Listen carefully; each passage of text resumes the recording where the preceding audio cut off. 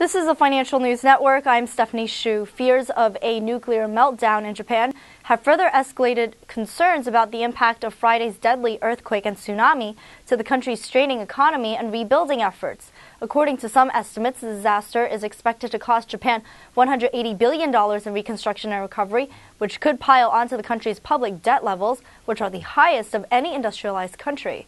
The BBC is also reporting that the damage and production halts could knock off as much as 1% from Japan's GDP this year.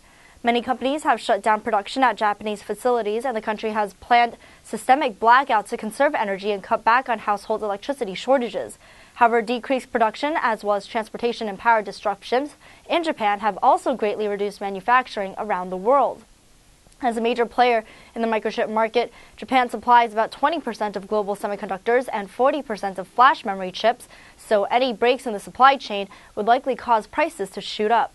BBC reports that smartphone and tablet chip prices rose another 3% on Tuesday, following Monday's 20% jump.